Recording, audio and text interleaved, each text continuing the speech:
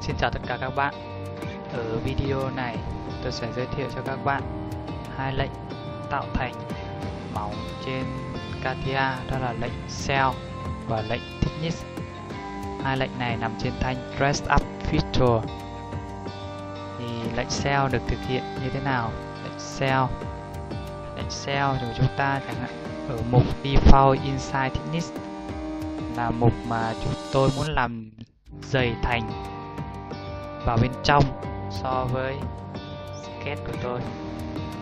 À, đây là sketch của tôi sketch 12 này.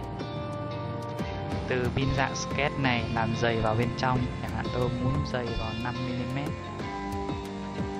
mm.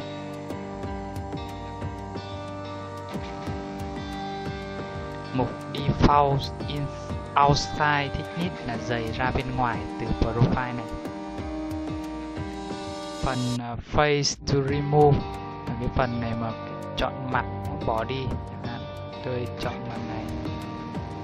Rồi, ok đấy, tôi đã nhập 2 mm có nghĩa là làm dày vào bên trong. Dạng profile dày 2 mm.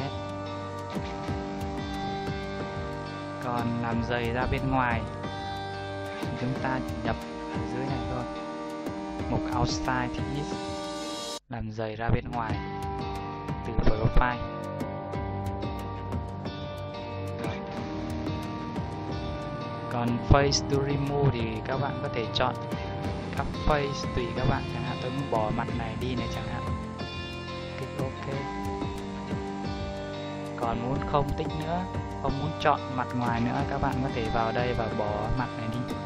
Chẳng hạn, bỏ mặt thứ hai này đi remove ok ok. Rồi. Lệnh tiếp theo tôi muốn giới thiệu cho các bạn là lệnh thickness.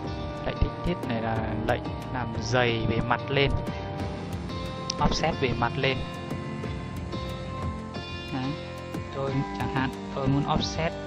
Default thickness là offset lên 5 mm và thickness face chọn mặt thickness chẳng hạn, tôi muốn chọn mặt là thành ngoài này.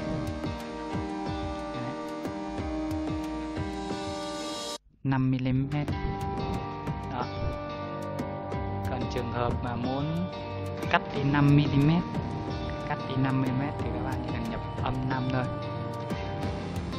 Ok.